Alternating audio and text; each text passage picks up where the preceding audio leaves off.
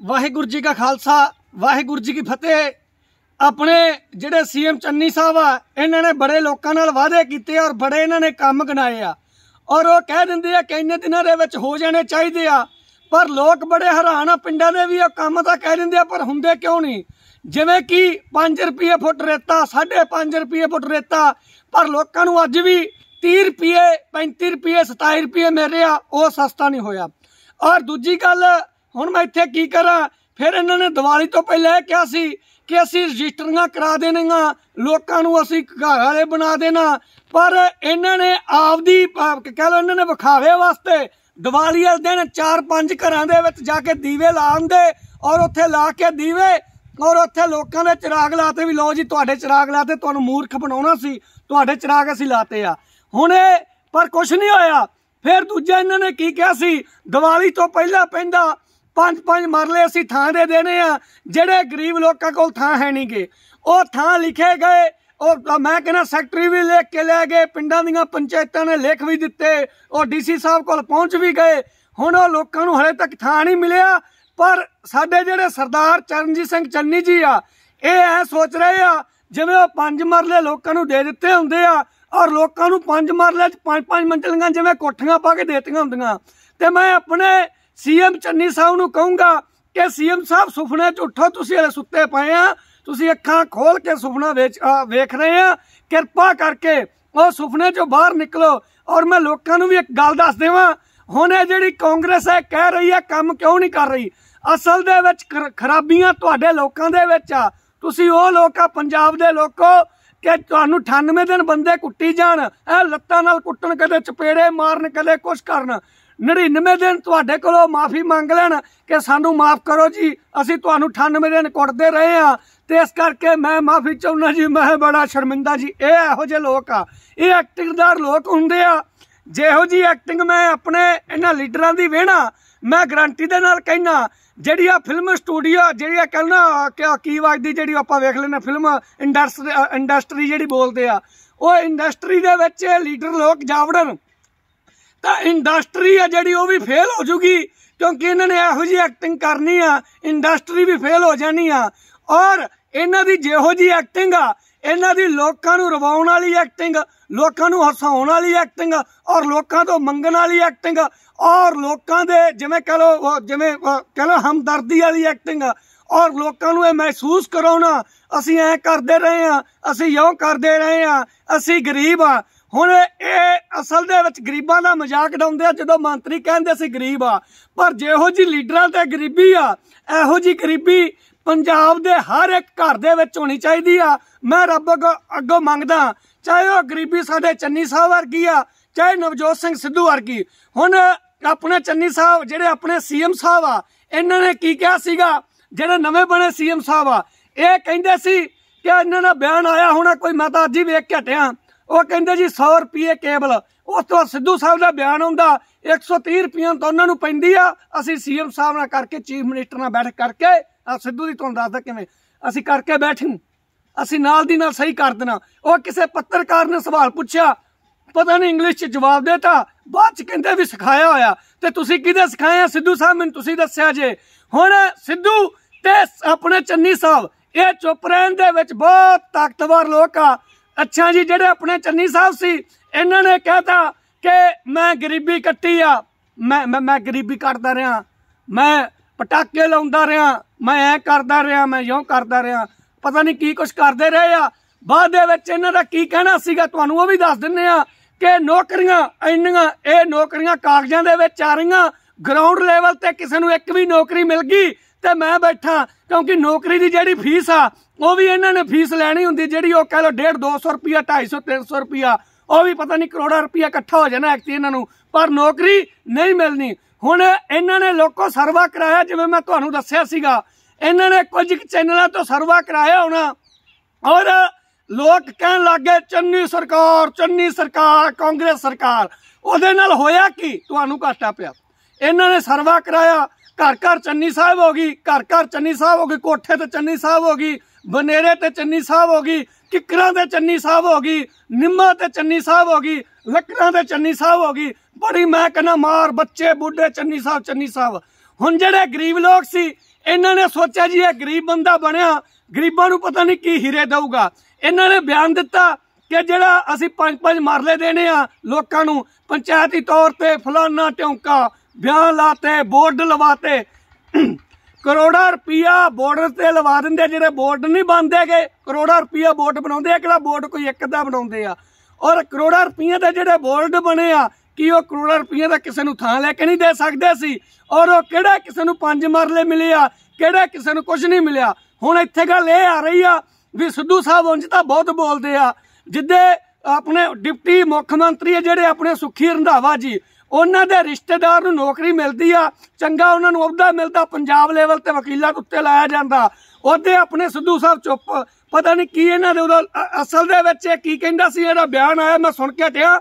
ਆਖੇ ਜਿਹੜੇ ਆਖੇ ਕੇਜਰੀਵਾਲ ਆਖਿਆ ਲੋਕਾਂ ਨੂੰ ਲੋਲੀਪੌਪ ਦੇ ਰਹੇ ਆ। ਅਖੇ ਬਾਦਲ ਜਿਹੜੇ ਕਾਲੇ ਬੱਦਲ ਸੀ, ਉਹ ਲੋਲੀਪੌਪ ਦਿੰਦੇ ਰਹੇ ਆ। ਤੇ ਜਿਹੜੇ ਤੁਸੀਂ ਕੁਰਕਰੇ ਦੇਈ ਜਾਂਦੇ ਲੋਕਾਂ ਨੂੰ, ਉਹਨਾਂ ਬਾਰੇ ਵੀ ਦੱਸੋ। ਕੁਰਕਰਾ ਨੰਬਰ ਪਹਿਲਾ ਜਿਹੜਾ ਤੁਸੀਂ ਪੰਜਾ ਵਾਲਾ ਕੁਰਕਰਾ ਲੋਕਾਂ ਨੂੰ ਦੇ ਕੇ ਔਰ ਲੋਕਾਂ ਨੂੰ ਮਨਾ ਰਹੇ ਆ, ਕੈਪਟਨ ਅਮਰਿੰਦਰ ਸਿੰਘ ਨੂੰ ਪਾਰਟੀ ਦੇ ਵਿੱਚੋਂ ਬਾਹਰ ਕੱਢਿਆ, ਉਹਦਾ ਅਸਤੀਫਾ ਲਿਆ ਗਿਆ। ਹੁਣ ਕੱਲੇ ਕੈਪਟਨ ਅਮਰਿੰਦਰ ਸਿੰਘ ਦਾ ਅਸਤੀਫਾ ਲੈਣ ਤੋਂ ਬਾਅਦ ਇਹ ਕਿਹਾ ਜਾ ਰਿਹਾ ਕਿ ਸਾਨੂੰ ਤਾਂ ਕੰਮ ਨਹੀਂ ਕਰਨ ਦਿੱਤਾ ਜਾ ਰਿਹਾ ਸੀਗਾ। ਹੁਣ ਇਹ ਜਿਹੜੇ ਆਪਣੇ ਸਿੱਧੂ ਸਾਹਿਬ ਆ, ਇਹਨਾਂ ਦਾ ਬਿਆਨ ਇਹ ਆਇਆ ਕਿ ਜਿਹੜੇ ਆਪਣੇ ਚੰਨੀ ਸਾਹਿਬ ਆ, ਨਵੇਂ ਬੜੇ ਮੁੱਖ ਮੰਤਰੀ, ਉਹ ਕਾਂਗਰਸ ਉਹਦੇ ਨਾਲ ਖੜੀ, ਉਹਨਾਂ ਬਿਆਨਾਂ ਦੇ ਨਾਲ। ਤੇ ਜਦੋਂ 2017 ਦੇ ਵਿੱਚ ਕੈਪਟਨ ਅਮਰਿੰਦਰ ਸਿੰਘ ਸਰਕਾਰ ਬਣਾਉਣ ਦੇ ਵਾਸਤੇ ਇਹ ਬਿਆਨਬਾਜ਼ੀਆਂ ਦਵਾ ਰਿਹਾ ਸੀ। ਘਰ ਘਰ ਨੌਕਰੀ, ਫਲਾਨੀ ਨੌਕਰੀ, ਢੌਂਕਾ ਨੌਕਰੀ। ਉਹਦੇ ਸਿੱਧੂ ਸਾਹਿਬ ਕਿੱਥੇ ਗਏ ਸੀ? ਉਹਦੇ ਸੋਨੀਆ ਗਾਂਧੀ ਨੇ ਕਿਹੜੀ ਨੀਂਦ ਦੀ ਗੋਲੀ ਖਾਧੀ ਸੀ?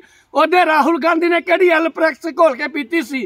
ਕਿ ਜਿਹੜੀ ਇਹਨਾਂ ਨੂੰ ਜਾਗ ਨਹੀਂ ਆਈ ਔਰ ਲੋਕਾਂ ਨੂੰ ਮੂਰਖ ਬਣਾਇਆ? ਇੱਥੋਂ ਮੈਂ ਕਹਿੰਦਾ, ਲੋਕਾਂ ਤੁਹਾਨੂੰ ਮੂਰਖ ਬਣਾਇਆ ਜਾ ਰਿਹਾ। ਫਿਰ ਦੂਜਾ ਨੰਬਰ ਕੁਰਕਰਾ, ਹੁਣ ਮੈਂ ਇੱਥੇ ਕਹਾਂ ਜਿਹੜੇ ਕੁਰਕਰੇ ਤੁਹਾਨੂੰ ਦਸਾਂ ਦਾ ਪੈਕਟ ਦਿੱਤਾ ਜਾ ਰਿਹਾ। ਸਾਰੇ ਐਮਐਲਏ ਇਹਨਾਂ ਦੇ ਲੋਕਾਂ ਨੂੰ ਫੋਨ ਕਰਕੇ ਕਿਸੇ ਨੂੰ ਕਹਿੰਦੇ ਐਮਐਲਏ ਦੀ ਕੋਈ ਚੀਜ਼ ਹੁੰਦਾ।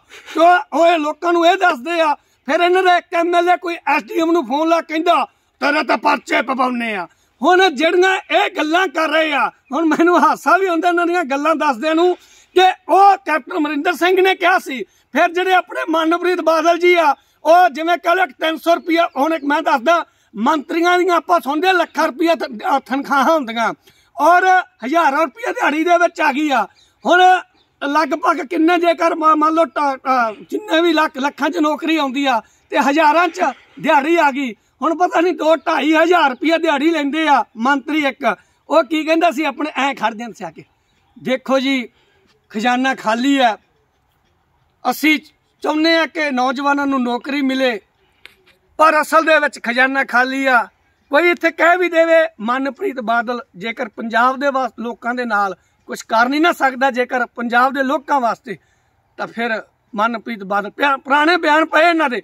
ਹੁਣ ਵਾਲੇ ਬਿਆਨ ਪੁਰਾਣੇ ਜਿਹੜੇ ਅ, ਪਹਿਲੇ ਪੁਰਾਣੇ ਮਨਪ੍ਰੀਤ ਬਾਦਲ ਜਿਹੜੇ ਮੰਤਰੀ ਬਣ ਤੋਂ ਪਹਿਲਾਂ ਮੈਂ ਕੁਝ ਕਰਨਾ ਚਾਹੁੰਦਾ ਪੰਜਾਬ ਵਾਸਤੇ। ਜੇਕਰ ਪੰਜਾਬ ਵਾਸਤੇ ਕੁਝ ਨਾ ਕਰ ਸਕਿਆ ਤਾਂ ਮੈਂ ਵੇਖੋ ਜੀ ਫਿਰ ਕੋਈ ਫਾਇਦਾ ਨਹੀਂ। ਔਰ ਜਦੋਂ ਬਣ ਗਏ 2017 ਅ, 18 19 20 ਹਾਂਜੀ ਸਰ ਨੌਕਰੀਆਂ ਬਾਰੇ ਜਿਹੜਾ ਤੁਸੀਂ ਕਿਹਾ ਸੀ, ਦੇਖੋ ਜੀ, ਸਾਡਾ ਵੀ ਜੀ ਕਰਦਾ ਸੀ ਕੁਝ ਕਰੀਏ ਲੋਕਾਂ ਵਾਸਤੇ, ਪਰ ਖਜ਼ਾਨਾ ਖਾਲੀ ਹੈ। ਹੁਣ, ਜ- ਆਹ- ਆਹ ਰਹਿ ਗਏ 6 ਮਹੀਨੇ 2 ਮਹੀਨੇ ਰਹਿ ਗਏ ਇਹਨਾਂ ਦੇ, ਹੁਣ ਖਜ਼ਾਨਾ ਪੂਰਾ ਜੀ, ਖਜ਼ਾਨਾ ਪੂਰਾ ਜੀ, ਇਹ ਪੁੱਛਣ ਵਾਲਾ ਹੋਵੇ, ਭਲਾ ਮਨਪ੍ਰੀਤ ਬਾਦਲ ਨੂੰ ਪੁੱਛਿਆ ਜਾਵੇ ਕਿ ਇਹ ਜਿਹੜੇ ਆਪਣੇ, ਕੀ ਕਹਿੰਦੇ ਹੁੰਦੇ ਆ, ਕੈਪਟਨ ਅਮਰਿੰਦਰ ਸਿੰਘ ਜੀ ਆ, ਇਹ ਕੋਈ ਕਾਲ ਸੀਗੇ ਵੀ ਜਿੱਥੇ ਜਾਂਦੇ ਸੀ, ਕਾਲ ਪਾ ਦਿੰਦੇ ਸੀਗੇ? ਇਹਨਾਂ ਦੀ ਜਿਹੜੀ 4.5 ਸਾਲ ਤੋਂ ਇਹਨਾਂ ਕੋਲ ਪੈਸਾ ਨਹੀਂ ਆਇਆ, ਜਿੰਨਾ ਚਿਰ ਉਹ ਮੁੱਖ ਮੰਤਰੀ ਸੀ, ਜਦੋਂ ਬਦਲਿਆ ਗਿਆ, ਨਾਲ ਦੀ ਨਾਲ ਖਜ਼ਾਨੇ ਭਰੇ ਗਏ, ਪਤਾ ਨਹੀਂ ਕਿਹੋ ਜਿਹੇ ਭਰਪੂਰ ਗਏ। ਹੁਣ ਮੈਂ ਤਾਂ ਇਹਨਾਂ ਦੇ ਭਾ ਦੇ ਕਿਤੇ ਕਿਉਂ ਲੋਕ ਰੋਟੀ ਖਾ ਕੇ ਪੈਂਦੇ ਆ ਭਾਈ ਸਾਹਿਬ? ਫਿਰ ਕਿੱਡੀ ਕੁ ਗੱਲ ਆ? ਸਰਦਾਰ ਚਰਨਜੀਤ ਸਿੰਘ ਚੰਨੀ ਜੀ, ਜੇਕਰ ਤੁਸੀਂ ਰੋਟੀ ਚੰਗੀ ਖਾਂਦੇ ਆ, ਨਾਲ ਬਦਾਮ ਖਾਂਦੇ ਹੋਵੋਗੇ, ਪਰ ਲੋਕ ਵੀ ਮੂੰਗਫਲੀਆਂ ਨੂੰ ਬਦਾਮ ਸਮਝ ਕੇ ਖਾਂਦੇ ਆ। ਉਹ ਵੀ ਕਹਿ ਲਓ ਜਿੰਨੀ એનર્ਜੀ, ਓਨੀ એનર્ਜੀ ਤੁਸੀਂ ਬਦਾਮਾਂ ਚੋਂ ਨਹੀਂ ਲੈਂਦੇ। ਜਿੰਨੀ ਇਹ ਮੂੰਗਫਲੀ ਦੇ ਚ- ਕਹਿ ਲਓ ਗਿਰੀਆਂ ਚੋਂ ਲੈ ਲੈਂਦੇ ਆ, ਕਿਉਂਕਿ ਇਹਨਾਂ ਨੇ ਗਿਰੀਆਂ ਖਾ ਕੇ ਕੰਮ ਕਰਨਾ ਹੁੰਦਾ ਔਰ ਤੁਸੀਂ ਬਦਾਮ ਖਾ ਕੇ ਵੀ ਬਹਿਣਾ ਹੁੰਦਾ ਔਰ ਐਵੇਂ ਗੱਲਾਂ ਕਰਨੀਆਂ। ਇਹ ਬਦਾਮ ਔਰ ਕਾਜੂ, ਇਹ ਗੱਪ ਮਾਰਨ ਦੇ ਕੰਮ ਆਉਂਦੇ ਆ, ਹੋਰ ਕੁਝ ਕਰਨ ਦੇ ਕੰਮ ਨਹੀਂ ਆਉਂਦੇ। ਜਿਨ੍ਹਾਂ ਨੇ ਕੰਮ ਲੈਣਾ ਹੁੰਦਾ, ਸੁੱਕੀਆਂ ਰੋਟੀਆਂ ਤੋਂ ਵੀ ਲੈ ਲੈਂਦੇ ਆ, ਜੇਕਰ ਤੁਸੀਂ ਗਰੀਬੀ ਤੋਂ ਵੇਖਦੇ ਆ ਤਾਂ। ਹੁਣ ਆਪਣੇ ਇਹਨਾਂ ਨੂੰ ਪੁੱਛੋ ਕਿ ਸਿਰਫ ਕੱਲੇ ਮੁੱਖ ਮੰਤਰੀ ਬਦਲਣ ਦੇ ਨਾਲ ਲੋਕੋ ਤੁਸੀਂ ਕਿਉਂ ਭੁੱਲੀ ਜਾਂਦੇ ਇਹਨਾਂ ਚੀਜ਼ਾਂ ਨੂੰ? ਕੱਲੇ ਇੱਕ ਮੁੱਖ ਮੰਤਰੀ ਨੂੰ ਪਰੇ ਕਰਨ ਦੇ ਨਾਲ ਖਜ਼ਾਨਾ ਵੀ ਭਰ ਗਿਆ ਔਰ ਇਹਨਾਂ ਦੇ ਜਿਹੜੇ ਐਮਐਲਏ ਸੀ ਜਿਨ੍ਹਾਂ ਨੇ ਕਦੇ ਹਲਕਿਆਂ ਦੇ ਵਿੱਚ ਵੜ ਕੇ ਨਹੀਂ ਵੇਖਿਆ, ਹੁਣ ਪੁੱਛਣ ਵਾਲਾ ਹੋਵੇ ਕਿ ਕੈਪਟਨ ਅਮਰਿੰਦਰ ਸਿੰਘ ਨੇ 4.5 ਸਾਲੇ ਐਮਐਲਏ ਦੇ ਪੈਰਾਂ ਨੂੰ ਸੰਗਲ ਲਾਏ ਸੀ, ਵੀ ਇਹਨਾਂ ਨੂੰ ਜਦੋਂ ਜਾਂਦੇ ਸੀ ਤਾਂ ਕੈਪਟਨ ਸੰਗਲ ਖਿੱਚ ਲੈਣਾ ਦਾ। ਹਾਂ ਮੇਰਾ ਸਾ- ਕੈਪਟਨ ਸਾਹਿਬ ਸੰਗਲ ਛੱਡੋ ਜੀ। ਉਹ ਸੰਗਲ ਲਾਏ ਸੀ ਕਿਸੇ ਨੂੰ? ਨਹੀਂ, ਇਹਨਾਂ ਨੇ ਕੁਛ ਨਹੀਂ, ਲੋਕਾਂ ਨੂੰ ਦਬਕੇ ਮਾਰੇ ਆ। ਜਿਹੜਾ ਕੋਈ ਪੰਜਾਬ ਦੇ ਮੁੱਦਿਆਂ ਤੇ ਬੋਲਦਾ ਸੀ, ਉਹ ਐਮਐਲਏ ਨੇ ਕੀ ਕੀਤਾ? ਉਹਦੇ ਬੋਲਣ ਵਾਲੇ ਦੀ ਮਾਂ ਨੂੰ ਦਬਕੇ ਮਰਵਾਏ ਆ, ਆਪਦੇ ਪੀਆਂ ਨੂੰ ਘੱਲ ਕੇ, ਆਪਦੇ ਕਹਿ ਲਓ ਪੁਲਿਸ ਨੂੰ ਥੋੜੀ ਬਹੁਤੀ ਘੱਲ ਕੇ ਇਹਨਾਂ ਨੇ ਕੀਤਾ ਕੱਖ ਨਹੀਂ। ਹੁਣ ਅੱਜ ਪੰਜਾਬ ਵਾਸਤੇ ਕੁਝ ਕਰਨਾ ਚਾਹੁੰਦੇ ਆ, ਪੰਜਾਬ ਵਾਸਤੇ ਕੁਝ ਕਰਨਾ ਚਾਹੁੰਦੇ ਆ, ਕੀ ਕਰਨਾ ਚਾਹੁੰਦੇ ਸਿੱਧਾ ਕਹੋ, ਅਸੀਂ ਆਪਦੇ ਘਰ ਵਾਸਤੇ ਕੁਝ ਕਰਨਾ ਚਾਹੁੰਦੇ ਆ ਕਿ ਸਾਡੇ ਕੋਲ ਹਲੇ ਪੈਸਾ ਬਹੁਤ ਘੱਟ ਆ। ਔਰ ਜਿਹੋ ਜਿਹੇ ਸਾਡੇ ਮੰਤਰੀ ਆ ਜਿਵੇਂ ਇਹਨਾਂ ਦੇ ਢਿੱਡ ਭਰਨ ਚ ਨਹੀਂ ਆਉਂਦੇ, ਮੈਨੂੰ ਲੱਗਦਾ ਤੁਹਾਨੂੰ ਵੋਟਾਂ ਦੀ ਨਹੀਂ, ਤੁਹਾਨੂੰ ਕੌਲਿਆਂ ਦੀ ਲੋੜ ਆ। ਚੰਗੇ ਚੰਗੇ ਜਾ ਜਾ ਕੇ ਮੋੜਾਂ ਤੇ ਮੰਗਣ ਲੱਗ ਜਾਓ, ਕਿਉਂਕਿ ਪੰਜਾਬ ਦੇ ਲੋਕਾਂ ਨੂੰ ਤੁਸੀਂ ਮੰਗਣ ਲਾਤਾ। ਅੱਜ ਅਫਸੋਸ ਹੁੰਦਾ ਕਿ ਸਾਡੇ ਜਿਹੜੇ ਚੰਨੀ ਸਾਹਿਬ ਆ, ਸਾਡੇ ਮੁੱਖ ਮੰਤਰੀ ਜੀ ਆ, ਇਹਨਾਂ ਨੂੰ ਕੱਲੇ ਲਾ ਕੇ ਕਹਿ ਰਿਹਾ ਜੀ, ਕਾਂਗਰਸ ਬਹੁਤ ਕੁਝ ਕਰ ਦੂ। ਔਰ ਹੁਣ ਮੈਂ ਦੱਸਦਾ ਲੋਕੋ ਕਿ ਆਪਣੇ ਜਿਹੜੇ ਐਲਾਨ ਹੋ ਰਹੇ ਆ, ਉਹ ਪੂਰੇ ਕਿਉਂ ਨਹੀਂ ਹੋ ਰਹੇ? ਕਿਉਂਕਿ ਇਹਨਾਂ ਨੇ ਸਰਵਾ ਕਰਵਾਇਆ ਇਹਨਾਂ ਨੂੰ ਪਤਾ ਲੱਗ ਗਿਆ ਵੀ ਸਰਕਾਰ ਕਾਂਗਰਸ ਦੀ ਆ ਸਕਦੀ ਆ ਔਰ ਇਹਨਾਂ ਨੇ ਕੀ ਨਾਲ ਦੀ ਨਾਲ ਇਹਨਾਂ ਨੇ ਕੰਮ ਕਰਨੇ ਬੰਦ ਕਰਤੇ ਕੋਈ ਕੰਮ ਨਹੀਂ ਹੋ ਰਿਹਾ। ਪਰ ਮੈਂ ਆਪਣੇ ਚੰਨੀ ਸਾਹਿਬ ਜੀ ਨੂੰ ਵੀ ਕਹਿ ਦੇਵਾਂ ਸਾਡੇ ਸਿੱਧੂ ਸਾਹਿਬ ਜੀ ਨੂੰ ਵੀ ਕਹਿ ਦੇਵਾਂ ਤੇ ਆਪਣੇ ਗੱਲਾਂ ਵਾਲੇ ਜਿਹੜੇ ਆਪਣੇ ਜਿਹੜੇ ਖਜ਼ਾਨਾ ਖਾਲੀ ਵਾਲੇ ਆ, ਮਨਪ੍ਰੀਤ ਬਾਦਲ ਜੀ ਇਹਨਾਂ ਨੂੰ ਵੀ ਕਹਿ ਦੇਵਾਂ ਜਿਹੋ ਜੀ ਤੁਸੀਂ 1000 ਰੁਪਿਆ ਦੇ ਹਜ਼ਾਰਾਂ ਰੁਪਿਆ ਦਿਹਾੜੀ ਲੈ ਕੇ ਗੱਲ ਕਹਿੰਦੇ ਰਹੇ ਆ ਨਾ ਖਜ਼ਾਨਾ ਖਜ਼ਾਨਾ ਖਾਲੀ ਆ। ਜੇ ਕੋਈ ਬੰਦਾ ਰੱਖ ਲੈਂਦੇ ਨਾ 250 ਰੁਪਏ ਦਿਹਾੜੀ ਤੇ, ਉਹ ਮਾੜਾ ਨਹੀਂ ਸੀਗਾ। ਐਵੇਂ ਲੱਖਾਂ ਰੁਪਏ ਤਨਖਾਹ ਦਿੰਦੇ ਰਹੇ ਇੱਥੇ ਪਿੰਡ 'ਚੋਂ ਕੋਈ ਬੰਦਾ ਫੜਦੇ ਉਹਨੂੰ ਸਿਰਫ ਇੱਕ ਮੀਡੀਆ ਸਾਹਮਣੇ ਬਿਆਨ ਹੀ ਦੇਣਾ ਸੀਗਾ। ਔਰ ਅਨਪੜ ਬੰਦਾ ਸੀ ਜਿਹੜਾ 250 ਵਾਲਾ, ਉਹਨੇ ਐ ਕਹਿ ਦੇਣਾ ਸੀ ਖਜ਼ਾਨਾ ਖਾਲੀ ਆ। ਉਹਨੇ ਐ ਕਹਿ ਦੇਣਾ ਸੀਗਾ। ਬਾ ਫ਼ਰਕ ਇਹ ਵੀ ਆ, ਮਾੜੀ ਭੜਕ ਨਾਲ ਕਹਿੰਦਾ, ਖਜ਼ਾਨਾ ਤਾਂ ਖਾਲੀ ਹੈ ਜੀ। ਤੇ ਜੇ ਕੋਈ ਹੋਰ ਕੋਈ ਮੇਰੇ ਵਰਗਾ ਅਨਪੜ ਚੱਕ ਲੈਂਦੇ, ਉਹਨੇ ਕਹਿਣਾ ਸੀਗਾ ਖਜ਼ਾਨਾ ਖਾਲੀ ਆ। ਇਹ ਕਿਉਂ ਤੁਸੀਂ ਇਹ ਇੰਨੀਆਂ ਲੱਖ- ਹਜ਼ਾਰਾਂ ਰੁਪਏ ਦਿਹਾੜੀਆਂ ਦਿੱਤੀਆਂ ਨੂੰ? ਕੀ ਲੋੜ ਸੀ? ਸਾਨੂੰ ਤਾਂ ਅਫਸੋਸ ਹੋ ਰਿਹਾ ਕਿ ਸਿਰਫ ਇੱਕ ਬੋਲ ਕਹਿਣਾ, ਦੋ ਤਿੰਨ ਸ਼ਬਦ ਕਹਿਣੇ ਆ, ਖਜ਼ਾਨਾ ਖਾਲੀ ਆ। ਤੇ ਚੱਲ ਅਸੀਂ ਵੀ ਐ ਖੜ ਕੇ ਕਹਿੰਦੇ ਜੀ, ਖਜ਼ਾਨਾ ਤਾਂ ਖਾਲੀ ਆ 250 ਰੁਪਏ ਦਿਹਾੜੀ ਕਿੰਨੀ ਬਚਤ ਹੋਣੀ ਸੀਗੀ? ਤੁਸੀਂ ਆਪ ਹੀ ਸਹਿਣੇ ਆ। ਚਲੋ ਹੁਣ ਕੀ ਕਹੀਏ ਤੁਹਾਨੂੰ? ਹੁਣ ਇਹ ਮਨਪ੍ਰੀਤ ਬਾਦਲ ਜੀ ਨੂੰ ਵੀ ਕਹਿ ਦੇਵਾਂ ਕਿ ਭਲੇ ਵੋਟਾਂ ਨਹੀਂ ਆਈਆਂ, ਕੰਮ ਕਰੋ। ਜੇਕਰ ਤੁਹਾਡਾ ਖਜ਼ਾਨਾ ਭਰ ਚੁੱਕਿਆ ਨਾ ਤੇ ਜੇ ਡੁੱਲਦਾ ਫਿਰਦਾ ਵੇਖੀ ਕਿਤੇ ਉਹ ਕਿਤੇ ਹੋਰ ਪੈਸਿਆਂ ਦੇ ਥੱਲੇ ਆ ਜਾਓ, ਕਿਤੇ ਉਹ ਖਜ਼ਾਨੇ ਚੋਂ ਬਾਹਰ ਡੁੱਲਦਾ ਫਿਰਦਾ ਹੋਵੇ ਖਜ਼ਾਨਾ ਕਿਵੇਂ ਖਾਲੀ ਹੁੰਦਾ ਸੀ? ਇਹ ਖਜ਼ਾਨਾ ਕਦੇ ਖਾਲੀ ਨਹੀਂ ਹੁੰਦਾ, ਲੋਕੋ ਤੁਹਾਨੂੰ ਦੱਸ ਦੇਵਾਂ। ਤੁਹਾਡੇ ਪਿੰਡਾਂ ਦੇ ਵਿੱਚੋਂ ਦਿੱਲੀ ਦੇ 2.5 2.5 3 ਲੱਖ ਰੁਪਏ ਜਿਹੜੇ ਕਹਿ ਲਓ ਟੈਕਸ ਜਾਂਦੇ ਆ, ਜਿਵੇਂ ਕਹਿ ਲਓ ਲੋਕ ਕਹਿੰਦੇ ਹੁੰਦੇ ਆ 36 ਕੁ ਰੁਪਏ ਟੈਕਸ ਆ 36 ਰੁਪਏ ਟੈਕਸ ਇੱਕ ਬੰਦੇ ਨੂੰ ਹੁੰਦੇ ਆ। ਹੁਣ ਮੇਰੇ 2500 ਵੋ- ਅਹ 2642 ਵੋਟਾਂ 8000 ਆਬਾਦੀ ਆ ਮੇਰੇ ਪਿੰਡ ਦੀ। 2 ਲੱਖ 80 ਕੁ ਹਜ਼ਾਰ ਰੁਪਏ ਦਾ ਟੈਕਸ ਮੇਰੇ ਪਿੰਡ ਦੇ- ਦਿੱਲੀ ਦਾ ਪਿੰਡ ਦਾ ਹੀ ਬਣਦਾ ਸੀਗਾ। ਔਰ ਜਿਵੇਂ ਕਹ ਲਓ 3 ਕਰੋੜ ਆਬਾਦੀ ਆ ਲਗਭਗ, ਤੇ ਜੇਕਰ 36 ਰੁਪਏ ਹਿਸਾਬ ਨਾਲ ਵੇਖਿਆ ਜਾਵੇ 108 ਕਰੋੜ ਰੁਪਏ ਖਜ਼ਾਨੇ 'ਚ ਜਾਂਦਾ ਸੀ ਤੇ ਹਲੇ ਖਾਲੀ ਕਿੱਥੋਂ ਬਣ ਗਿਆ? ਚਾਹ ਪੀਣ ਦੇ ਪੈਸੇ ਲੱਗਦੇ ਆ ਆ ਵੀਡੀਓ ਬਣਾਉਣ ਦੇ ਪੈਸੇ ਲੱਗਦੇ ਆ, ਪੈਸੇ ਲੱਗਦੇ ਆ, ਜਦੋਂ ਕੋਈ ਅਪ- ਇਹਨੂੰ ਕਰਾਂਗੇ ਅਪਲੋਡ ਇਹਦੇ ਤੇ ਵੀ ਕਹ ਲਓ ਟੈਕਸ ਲੱਗਿਆ ਹੋਇਆ, ਉਹ ਵੀ ਟੈਕਸ ਜਾਣਾ। ਜਦੋਂ ਤੁਸੀਂ ਵੇਖੋਗੇ, ਤੁਹਾਨੂੰ ਵੇਖਣ ਦਾ ਵੀ ਟੈਕਸ ਜਾਣਾ, ਉਹ ਵੀ ਸਰਕਾਰ ਦੇ ਖਾਤੇ ਜਾਣਾ। ਖਜ਼ਾਨਾ ਕੱਲ ਖਾਲੀ ਕਾਹਦਾ ਹੋ ਗਿਆ? ਦੋ ਚੀਜ਼ਾਂ ਦੇ ਪੈਸੇ ਨਹੀਂ ਲੱਗਦੇ। ਇੱਕ ਫਲੱਸ਼ ਜੇਕਰ ਆਪਾਂ ਪਿੰਡ ਦੇ ਵਿੱਚ ਬੈਠੇ ਆ, ਆਪਦੇ ਘਰੇ ਬੈਠੇ ਆ, ਇੱਕ ਫਲੱਸ਼ ਜਾਣ ਦੇ ਪੈਸੇ ਨਹੀਂ ਲੱਗਦੇ, ਇੱਕ ਬਾਥਰੂਮ ਕਰਨ ਦੇ ਪੈਸੇ ਨਹੀਂ ਲੱਗਦੇ। ਬਾਕੀ ਸਭ ਪੈਸੇ ਲੱਗਦੇ ਆ। ਆਪ ਆਪਦੇ ਆਪਦੇ ਸੋਚ ਕੇ ਵੇਖੋ ਜੇ, ਡੱਬੀ ਲੈਣੇ ਰੁਪਏ ਦੀ, ਉਹਦੇ ਵਿੱਚੋਂ ਵੀ ਸਰਕਾਰ ਨੂੰ ਟੈਕਸ ਜਾਂਦਾ। ਪੁਰਾਣੇ ਲੋਕਾਂ ਨੂੰ ਦੱਸ ਦੇਵਾਂ, ਤੁਹਾਨੂੰ ਯਾਦ ਹੋਣਾ, ਆਪਾਂ 10 ਰੁਪਏ ਦਾ ਕੁੱਪਨ ਲੈਂਦੇ ਹੁੰਦੇ ਸੀ ਇੱਕ। ਉਹ 10 ਰੁਪਈਆਂ ਦੇ ਵਿੱਚੋਂ 6 ਰੁਪਏ ਦੇ 90 ਪੈਸੇ ਆਉਂਦੇ ਹੁੰਦੇ ਸੀਗੇ। ਉਹ ਜਿਹੜੇ ਹੁਣ 3 ਰੁਪਏ ਆ 3 ਰੁਪਏ ਖਣੀ 10 ਪੈਸੇ ਬਣੇ, ਮੇਰਾ ਮਾੜਾ ਮੈਥ ਜਿਹੜੇ ਕਹ ਲੋ ਵੀਕ ਆ ਥੋੜਾ ਜਿਹਾ। ਹੁਣ ਜਿਹੜੇ 3 ਰੁਪਏ ਬਣੇ, ਉਹ ਟੈਕਸ ਹੀ ਜਾਂਦਾ ਸੀ ਇਹਨਾਂ ਨੂੰ। ਉਹ 4-4 ਰੁਪਏ ਟੈਕਸ ਜਾਂਦਾ ਸੀ ਸਰਕਾਰਾਂ ਨੂੰ। ਪਰ ਆਪਾਂ ਲੋਕ ਕਹਿੰਦੇ ਸੀ ਤਾਂ ਸਰਕਾਰ ਨੂੰ ਟੈਕਸ ਦਿੰਦੇ ਨਹੀਂ। ਇਸ ਕਰਕੇ ਚੰਨੀ ਸਾਹਿਬ, ਤੁਸੀਂ ਕੰਮ ਨਹੀਂ ਕਰ ਰਹੇ ਔਰ ਲੋਕਾਂ, ਮੈਂ ਤੁਹਾਨੂੰ ਦੱਸ ਚੁੱਕਿਆ ਵੀ ਤੁਸੀਂ ਟੈਕਸ ਦਿੰਦੇ ਆ ਤੁਹਾਨੂੰ ਮੂਰਖ ਬਣਾ ਰਹੇ ਆ। ਔਰ ਚੰਨੀ ਸਾਹਿਬ ਜੀ, ਤੁਸੀਂ ਐਲਾਨ ਬਹੁਤ ਕਰ ਰਹੇ ਆ। ਕੰਮ ਨਹੀਂ ਹੋ ਰਿਹਾ, ਕੋਈ ਕੰਮ ਨਹੀਂ ਹੋ ਰਿਹਾ 1% ਦਾ ਵੀ ਨਹੀਂ ਹੋ ਰਿਹਾ। ਜੇਕਰ ਹੁਣ ਇੱਕ ਮੈਂ ਮੀਡੀਆ ਨੂੰ ਵੀ ਕਹਿ ਦੇਵਾਂ, ਤੁਸੀਂ ਇਕੱਲੇ ਕਿਸੇ ਨੂੰ ਫੋਨ ਕਰਕੇ ਨਾ ਪੁੱਛਿਆ ਕਰੋ ਜੀ, ਵੋਟ ਕਿਹਨੂੰ ਪਾਉਂਗੇ ਤੁਹਾਨੂੰ ਕੀ ਅਧਿਕਾਰ ਆ ਕਿ ਤੁਸੀਂ ਕਿਸੇ ਨੂੰ ਪੁੱਛੋਗੇ ਵੋਟ ਕਿਹਨੂੰ ਪਾਉਣੀ ਆ? ਤੁਹਾਨੂੰ ਕੋਈ ਅਧਿਕਾਰ ਨਹੀਂ ਔਰ ਲੋਕਾਂ ਨੂੰ ਵੀ ਬੇਨਤੀ ਕਰਦਾ, ਜੇਕਰ ਤੁਹਾਨੂੰ ਕੋਈ ਮੀਡੀਆ ਵਾਲੇ ਪੁੱਛਦਾ, ਤੁਸੀਂ ਵੋਟ ਕਿਹਨੂੰ ਪਾਉਂਗੇ ਉਹਨੂੰ ਕਹੋ ਜੇ, ਪਹਿਲਾਂ ਕਰਕੇ ਦਿਖਾਓ, ਜਿਹੜਾ ਕੁਝ ਕਰਕੇ ਦੇਣਾ, ਫਿਰ ਅਸੀਂ ਵੋਟ ਪਾਵਾਂਗੇ। ਔਰ ਅੱਜ ਖਜ਼ਾਨਾ ਕਿੱਥੋਂ ਭਰਿਆ? ਸਾਨੂੰ ਇਹਦੇ ਬਾਰੇ ਦੱਸਿਆ ਕਰੋ। ਔਰ ਲੋਕਾਂ ਨੂੰ ਮੂਰਖ ਨਾ ਬਣਾਓ।